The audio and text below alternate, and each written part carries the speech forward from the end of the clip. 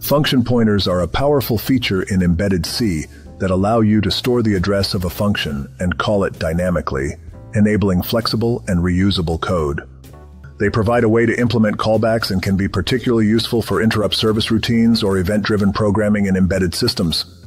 To use function pointers, you declare them with the same signature as the functions they point to, allowing you to call different functions through the same pointer variable.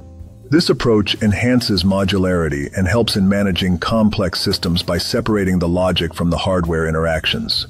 Using arrays of function pointers allows you to create a menu of functions, which can be particularly useful for implementing state machines or command patterns. This not only simplifies the code, but also makes it easier to modify and extend functionality without altering the core logic.